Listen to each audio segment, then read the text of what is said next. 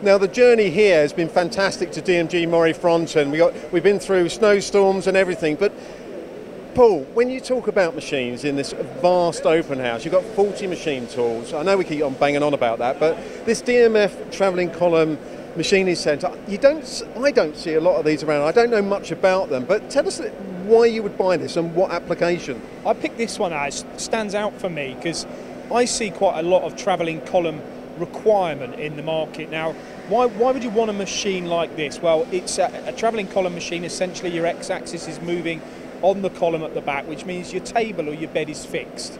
Now, by having a fixed, uh, a fixed base, a fixed table means that you can put heavier parts on the table for a start because the table's not moving left to right as an axis, it's in a fixed position, and you're relying on the head for your movement or the column for your movement. So some would say that's advantageous to be able to, to have that fixed bed on the machine. The beauty of a travelling column machine like this as well is working envelope. I mean, here you've got you know a two metre table or oh, beyond that probably with, with about that in the x-axis, and you've also got over 600, which is normally what people look for in the Y. In fact, 700 on this machine.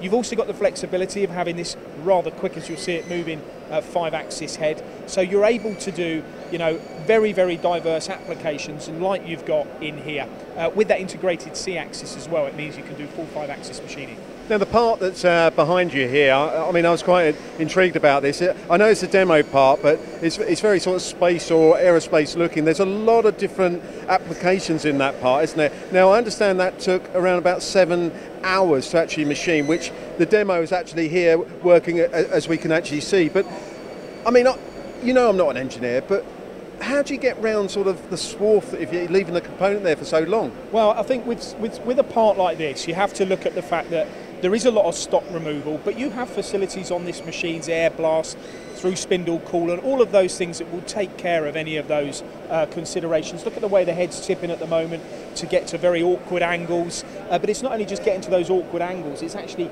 kind of contouring at the same time. So it's interpolating to open up holes and diameters.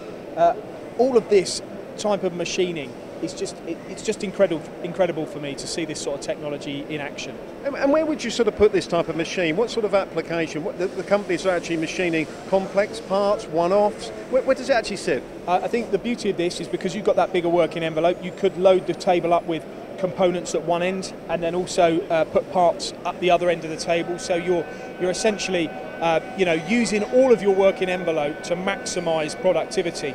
At the same time, you can have a very large bolster, which could take up the whole of the working envelope of the table. So very, very diverse is the answer. Um, you know, you, you, could do five op, you could do five sides of a part uh, using the, the, the, table here, and then you could do your finishing operation to the left of the table. So it's a very, very ergonomic, easy to access, controlled by uh, the DMG Mori control that we know, the Heidenhain there. Uh, you know, it is really something else, this machine.